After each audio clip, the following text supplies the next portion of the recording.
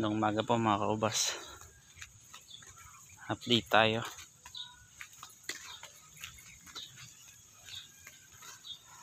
Yan na mga kaubas. Oh. Meron na siyang lilim.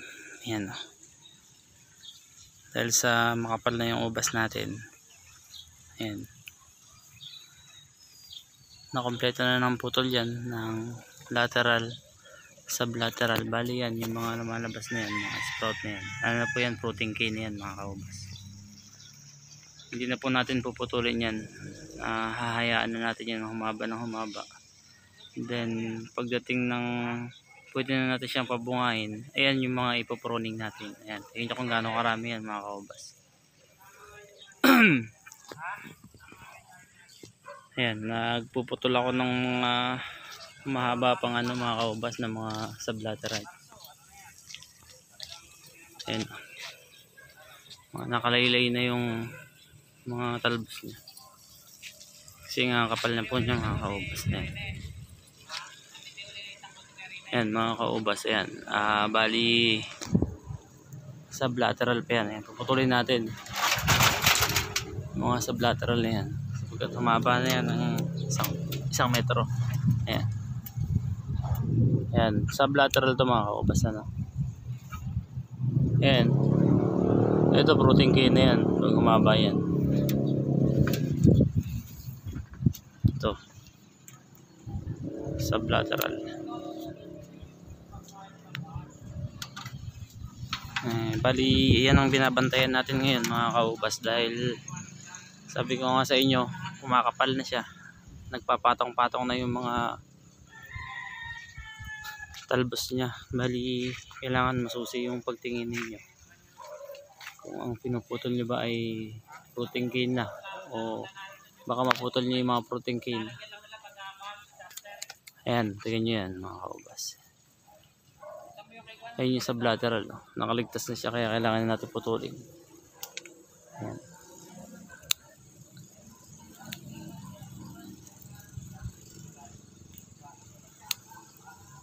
nakapal na po kasi mga kaubas kaya nakakalito na ayan sublateral ayan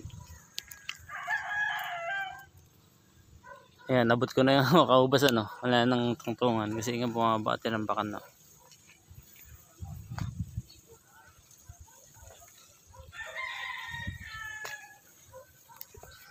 Ayan, patong-patong na siya. Oh. Healthy healthy yung mga talbos niya mga kaubas. Ayan o, oh, saan galing yung saan yun. Naku, napakahabang ano na to sa lateral. Nakakaligtas na to mga kaubas. Ito na, dito na natin putulin.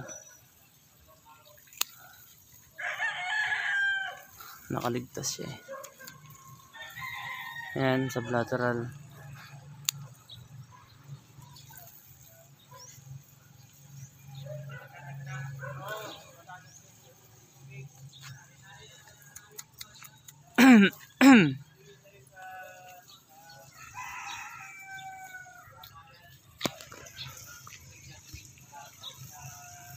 ayan na itsura niya. Kapal na.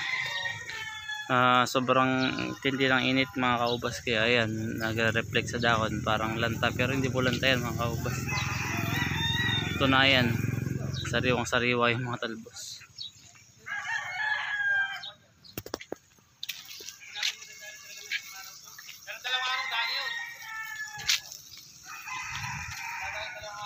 yun bising busy sila sa pagdidilig ng tubig natin dito.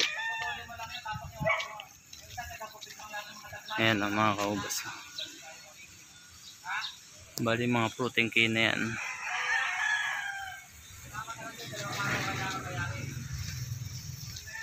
Inaalagaan ko sa ano eh. Hinahanap ko yung mga mahaba ng sublateral yan katulad yan nakalaylay pa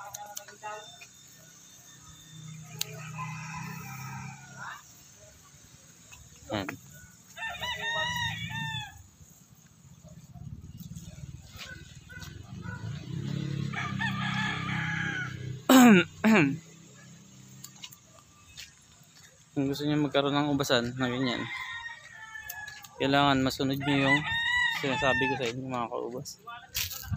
Ayan o tingnan nyo kung gaano siya kakapal ngayon. Hindi siya ah, ano hindi siya yung ubas na humaba lang na humaba. Tsaka pansinin nyo yung mga puno niya. Kasi ito mga kaubas nagdalawang buwan na to nung ano nung February 15 ngayon dahil sa maganda yung pag-aalaga natin nagkaka nakakakita tayo ng mga false flower Ngayon mga kaubas, kailangan nyo tanggalin yun kasi hindi naman yun yung totoong bunga niya. eh. Nakakatuwa lang tingnan kasi mayroong bunga pero tatanggalin nyo po yun.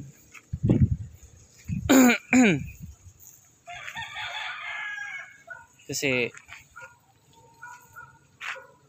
makikita nyo yung totoong bunga niyan pagka pinaroning. Baka madismaya lang kayo kasi sabihin nyo maliit yung bulaklak, maliit yung bunga.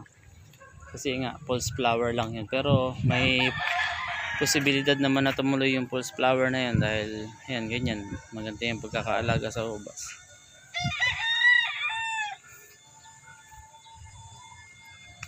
kaya posibilidad po talaga na tumuloy ang false flower kaya nga lang sabi ko nga sa inyo baka madismaya lang kayo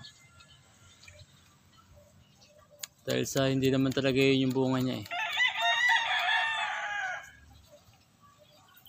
Ah, doon sa isang pinoroning namin mga kaubas, ah, pag inilabas ko na sa inyo, makikita nyo pag in-upload ko kung gaano talaga kalalaki yung isang buwig nito. Kung isang bulaklak niya kung gaano kalaki. Kasi meron kaming pinoroning doon at lumabas na yung mga bulaklak. Nakita namin kung gaano kalalaki. Bali, pagbalik namin, i-upload ko para makita nyo po mga kaubas.